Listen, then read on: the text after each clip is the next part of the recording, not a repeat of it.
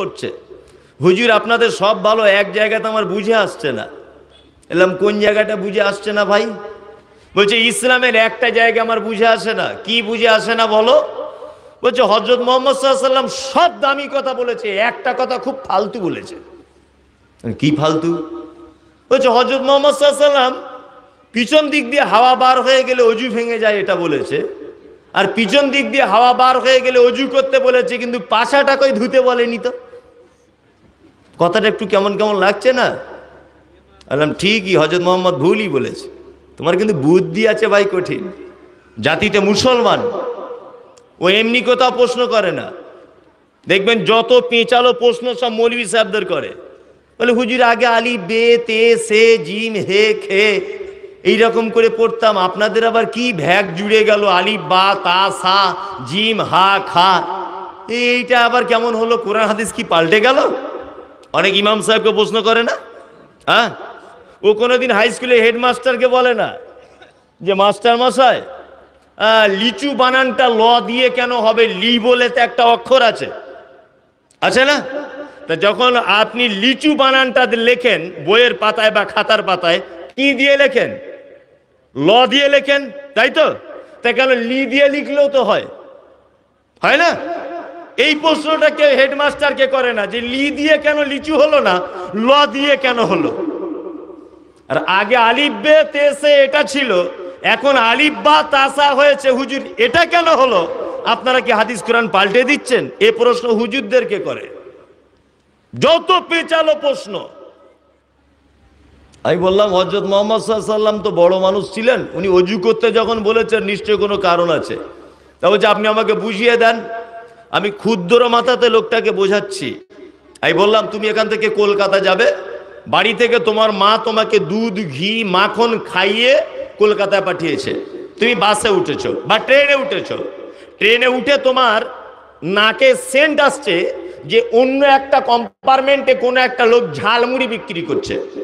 তুমি একটু হেঁটে হেঁটে গেলে ঝালমুড়িওয়ালার কাছে গিয়ে বললে যে, ভাই, আমাকে একটা ঝালমুড়ি দাও। ঝালমুড়ি ভালো করে আচার দিয়ে মাখিয়ে দিল, তুমি মুখের ভিতরে দিলে, তোমার দাঁতের কাজ চিবিয়ে ভিতরে ঢুকিয়ে দেওয়া। আর এটা একটা পানি ড্রামের মতো। এর কাজ হচ্ছে এখানে যদি গোলমাল কিছু ঢুকিয়ে দাও, পাছার দিক দিয়ে বার করে দেওয়া। এটা ওর কাজ। তাই তো? এটা ওর কাজ। আমি ওকে বললাম, হুজুর, পাছার দিক দিয়ে হাওয়া বার হয়ে গেলে অজু ভেঙে যায়। এটা মোহাম্মদ বোকা লোক ছিলেন না, দামি লোক ছিলেন। পাছার কোনো দোষ নেই।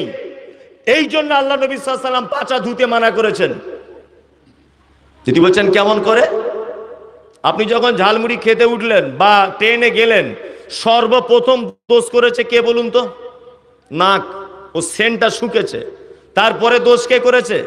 চোখ, ঝালমুড়িটা দেখেছে। তারপরে দোষ কে করেছে? পা হেঁটে হেঁটে গেছে। তারপরে দোষ কে করেছে? হাত মুখে তুলে জুট করে মাখিয়ে দিয়েছে। তারপরে দোষ কে করেছে? মুখ, দাঁত চিবিয়ে দিয়েছে। তারপরে দোষ, পাছার। তুমি দুধ খাওয়ার পরে যদি ঝালমুড়ি খাও, এমনিতে তুমি ট্রেনে বসে বসে থাকলে তোমার গ্যাস অম্বল হবেই। হবে না? তুমি যদি ঝালমুড়ি না খেতে, তাহলে পাচা হাওয়া বার করতো? করতো বলুন। তাহলে দোষ করেছে কারা? হাত, পা, চোখ, নাক পা এরা করেছে। পাছা কোনো দোষ করেছে?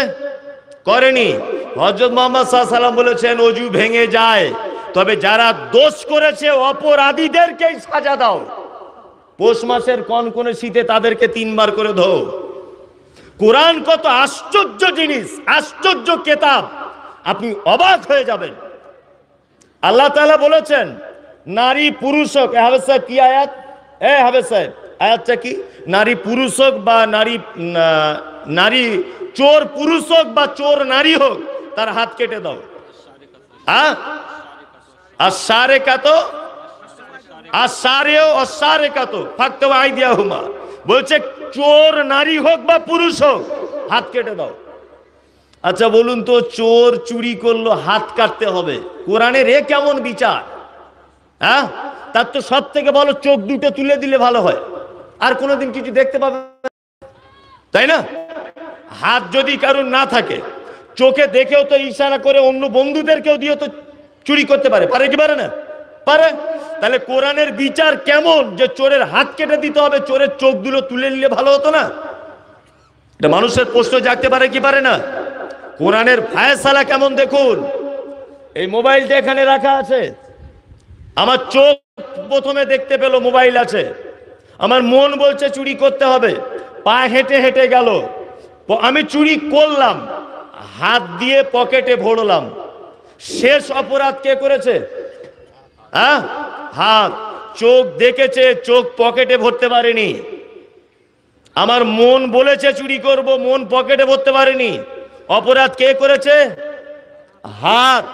ও মোবাইলটাকে ধরে পকেটে ভরেছে, তাহলে অপরাধীরই সাজা দিয়েছে কোরআন। আল্লাহ তালা বলেনি, চোখগুলো কানা করে দাও চোরের। আল্লাহ বলেনি যে চোরের পাগুলো কেটে দাও, কারণ পা অপরাধ করেনি। পা অপরাধ করেনি। অপরাধ করেছে হাত, এই জন্য হাত কেটে দিতে হবে। তাহলে মোহাম্মদ সাল্লাম পাচা ধুতে বললেন না, অঙ্গ প্রত্যঙ্গগুলো ধুতে বললেন। লোকটা পাগল ছিল বলে মনে হয়? পাগল ছিল? আল্লাহ নবী সাল্লাম দেড় হাজার বছর আগে বলেছেন যে, কোনো পানির পাত্রে যদি একটা মৌমাছি যদি পড়ে যায় বা মাছি যদি পড়ে যায়, ওই মাছিটাকে তোমরা আবার পুরোপুরি ডুবিয়ে দাও। ডুবিয়ে দেওয়ার পরে মাছিটাকে ফেলে দিয়ে ওই পানিটা পান করো। সাহাবিরা বলছেন, আল্লাহর নবী, এটা আবার কেমন কথা? মাছি পড়ে গেল, মাছিটাকে পুরো ডুবিয়ে দিয়ে তারপরে পান করতে হবে। আল্লাহ রসুল বলছেন, শোনো, মাছি বা মৌমাছির একটা ডানাতে বিষ থাকে, আর একটা ডানাতে ঔষধ থাকে। এই কারণে ওর বিষের ডানাটা প্রথমে যখন পরে ডুবিয়ে দেয়, ঔষধের ডানাটা উপরের দিকে রাখে। আমি মোহাম্মদ সাল্লাম বলছি, ওকে যদি ডুবিয়ে দেওয়া হয়, তাহলে বিষ আর ঔষধ দুটো এক জায়গায় হয়ে গেলে ওর বিষটার কাজ করবে না। আজকের ইতালির একজন বিজ্ঞানী প্রমাণ করেছেন এই কথাটা, যে মোহাম্মদ সাল্লাম তিনি ছিলেন পৃথিবীর শ্রেষ্ঠ বৈজ্ঞানিক। মুসলমানরা শুধু জিলাপি খায় আর ঘর চলে যায়। আর আল্লাহ নবী সাল্লামের কথা বলা হয় আর নারে তকবির দিয়ে ঘর চলে যায়। যায় না? এই লোকটাকে মূল্য দিতে পেরেছেন? বুঝতে পেরেছেন এই লোকটা কি কত বড় মাপের মানুষ? বুঝতে পেরেছেন? পারেননি। কি আশ্চর্য ব্যাপার। আমি আপনাকে অনেক ঘুরে ঘুরে আসছি, আবার বলব কোরআন থেকে। আপনারা জানেন যে আল্লাহ নবী সাল্লাম হীরা গুহাতে আল্লাহ মগ্ন থাকতেন? শুনেছেন এটা? শুনেছেন। একদিন জিবরিল এসেছে হঠাৎ করে। এসে বলছেন, ইয়া মোহাম্মদ, এই মোহাম্মদ, এই, পড়ো, ই করো ইসমে রব্বিকাল্লাদি খলা মোহাম্মদ সাল্লাম ভয়ে থর থর থর থর করে কাঁপছে। বলছে, আমি তো পড়তে জানি না। আমি তো স্কুলে যাইনি কোনোদিন। পড়ব কি করে? পড়তে জানি না আমি। তখন জিবরিল আমি নিজের সিনার সঙ্গে আল্লাহ নবী সাল্লামের সিনাকে ধরে চাপ দিলেন। যখনই সিনার ধরে চাপ দিলেন, তারপরে যখন জিবরিল বলছেন, ই কর, আপনি পড়ুন। বিসমি রব্বিকাল্লাদি খলাক, খলাকাল ইনসান মিন আলাক। ইকরা ওয়া রাব্বুকাল আকরাম, আল্লাযী আল্লামা বিল কলম। আল্লামাল ইনসান মা লাম ইয়ালাম। যখনই সিনাতে চাপ দিলেন, তখনই হযরত মুহাম্মদ সাল্লাম পড়তে শুরু করলেন। এই ঘটনা যখন বক্তারা বলছে, তখন জনগণরা এই ঘটনা শোনার পরে বলছে না রে তকবীর, আল্লাহু আকবার। তুমি কি শিখলে এটা থেকে? এতক্ষণ তো মোহাম্মদ সাল্লাম পড়তে পারছিলেন না। পারছিলেন? বলুন, পারছিলেন? সিনাতে যখন চাপ দেওয়া হলো, তখন তিনি পড়তে পারলেন। এর ভিতরে লজিক কি আছে? কি লজিক আছে এর ভিতরে? এটাকে নিয়ে ইহুদিরা, মুসলমান না নয়, ইহুদিরা গবেষণা করতে লেগেছে। যে এতক্ষণ আল্লাহ নবী সাল্লাম পড়তে পারেননি, সিনাতে চাপ দেওয়ার সাথে সাথে পড়তে পারলেন। নিশ্চয়ই জিব্রিলের সিনার ভিতরে এমন কোন মেশিন আল্লাহ তালা পাঠিয়েছিলেন। গবেষণা করতে করতে করতে করতে মোবাইলের বিভিন্ন অ্যাপস তারা ইহুদিরা আবিষ্কার করল। তার নাম ব্লুটুথ, তার নাম শিয়ারি। একটা মোবাইল এখানে আর একটা মোবাইল এখানে। এর গান ওর ভিতরে চলে যায়। ওর মোবাইলের গান এর ভিতরে চলে আসে। হয় না? হয় কি হয় না? নিশ্চয়ই আল্লাহ এরকম ব্লুটুথ কানেকশন জিব্রিলের ভিতরে করে দিয়েছিলেন, যেটা হজরত মোহাম্মদ সাল্লামের সিনাতে টাচ করার সাথে সাথেই কোরআন মাজিদ মোহাম্মদ সাল্লামের ভিতরে পৌঁছে গেছে। মুসলমান এটা কোনোদিন ভেবেছে? ভাবেনি। কিচ্ছু আবিষ্কার করেনি ভাবেনি এরা কত দামি লোক। আল্লাহ তাআলা সার্টিফিকেট দিচ্ছেন, মোহাম্মদ, মানতা বিনিমতে রব্বিকে বিমাজনুন। কখনোই আপনি পাগল নন। কখনোই আপনি পাগল নন। আল্লাহ তাআলা নবী মোহাম্মদ সাল্লাল্লাহু আলাইহি ওয়াসাল্লামের সার্টিফিকেট দিচ্ছেন আবার। কি? ওয়া ইন্নাকা লা আজরান গায়রা মামনুন। আপনাকে উত্তম প্রতিদান দিব আমি।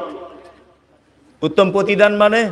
ওই যে আবু জেহেল বলেছিল, বেটাগুলো মারা গেছে, এখন তোমার আর কে বাঁচাবে? এই যে তোমার ইসলাম কে বাঁচাবে, এটা বলেছিল কি বলেছিল না? হ্যাঁ? এইবার তাহলে শুনে নেন আল্লাহ তালা বলছেন, মোহাম্মদ, কোনো টেনশন নেই, আমি আপনাকে পুরস্কারে পুরস্কারিত করছি। কি পুরস্কার? না করিবে কোন বন্ধু কোন উপকার যাহার নামে পুরে সবে হবে ছাড় খার। পানি পানি বলে যেদিন চিৎকার করিবে, গরম পানি আল্লাহ পান করাইবে। মাটি সেদিন গরম হয়ে তামা হয়ে যাবে মানুষ তাহার উপর দাঁড়িয়া রহিবে। পানি পানি বলে দেদিন রোল উঠিবে, কিয়ামতের মাঠে পানি দিবেন রসোল্লাহ। হাদিস বর্ণনা দিলেন কৌসারের পানি নবী পান করাইবেন। বন্ধুরে আমার, গোটা কিয়ামতের মাঠ যেদিন পানি পানি বলে চিৎকার হবে, আল্লাহ নবীকে বলছেন নবীকে বেটাগুলোকে নিয়ে নিলাম, তাই কি হলো? তোমার শিকড় কেটে আমি দিব না, তোমার বেটাগুলোকে নিয়ে নিলাম, তাই কি হলো?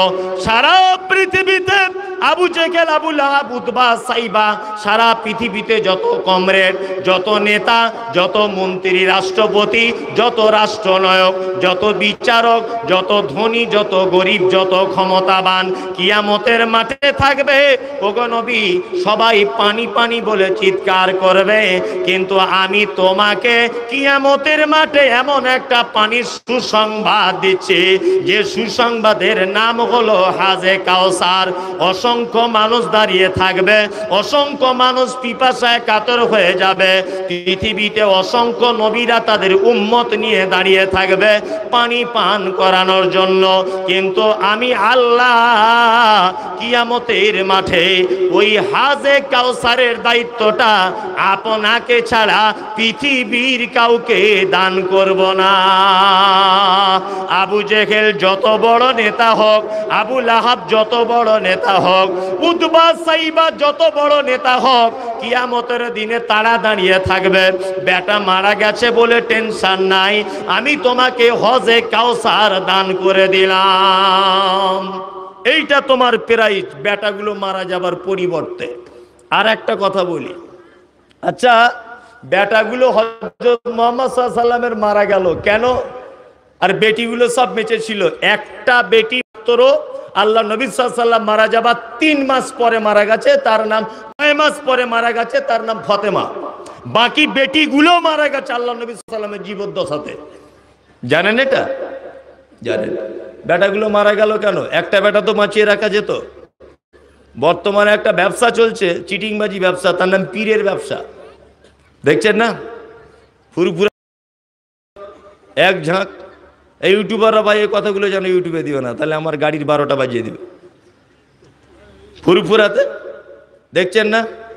কবে আবু বক্কা সিদ্দিক এসেছিলেন ওখানে? বলছে, উনি নাকি কুরাইশ বংশের লোক। মেনেই নিলাম কুরাইশ বংশেরই। হ্যাঁ? কুরাইশ বংশের মেনেই নিলাম। তা ফুরফুরা শরীফ এসে ওখানে ওনার দাফন করা আছে। জি? ওনার বেটা পীর। তার বেটা পীর। তারও বেটা পীর। আজ পর্যন্ত তোহা সিদ্দিক, আব্বাস সিদ্দিক, অমুক সিদ্দিক, তমুক সিদ্দিক সব পীর। ঠিক না? বসিরহাটে একটা পীর সাহেব আছে আমাদের উত্তর চব্বিশ পরগনা বসিরহাটে।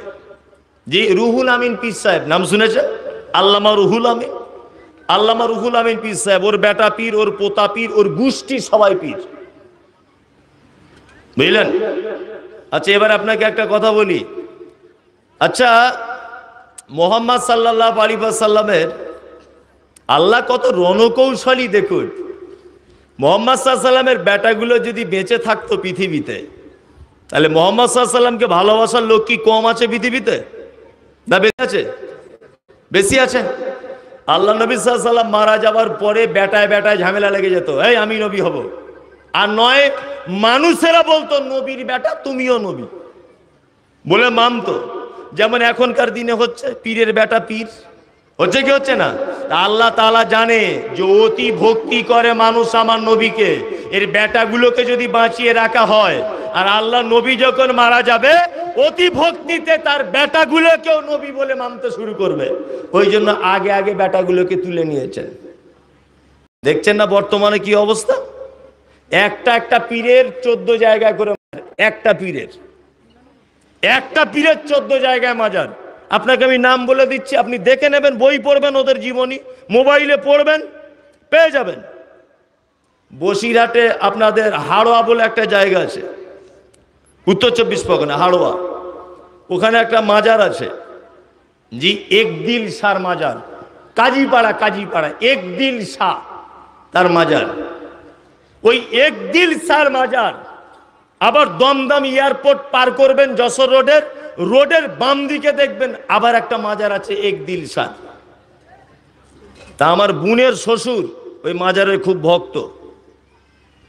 আমার বোনের শ্বশুর, তাই বলছি, আব্বু, শ্বশুর মানে আব্বু বলতে হবে আব্বু, আপনাদের পীর সাহেব কয় জায়গায় মরেছে বলুন তো? এইটা নিয়ে প্রায় তেরো, চোদ্দ জায়গায় একই পীরের মাজার দেখছি। তা আমাকে তখন বলছেন, পীর মরে শুয়ে আছে যে জায়গাটায়, ওই জায়গাটা হলো কাজীপাড়া। আর পীর ফুরপুরা শরীফ থেকে একবার কোনো কাজে বাড়ি আসছিলেন, দমদমের পাশে যে মাজারটা, ওখানে একটু বসে রেস করেছিলেন। ওটা একটা মাজার। তো অমুক জায়গাতে আর একটা মাজার কেন? না, অমুক জায়গাতে দাঁড়িয়ে অমুক দোকান থেকে দশ টাকার বোতল পানি কিনেছিলেন, ওই দোকানটা ভেঙে এখন মাজার করে দেওয়া হয়েছে। কি আশ্চর্য ব্যাপার! সারা পৃথিবীর এই সিলসিলা চলছে। চলছে কি চলছে না? তা আল্লাহ তাআলা নবী মোহাম্মদ সাল্লামের বেটাগুলোকে এই কারণে মেনে দিলেন, এই কারণে পৃথিবী থেকে তুলে নিলেন, যাতে করে আর কেউ নবীর স্থানে তার বেটাকে জায়গা দিতে না পারে।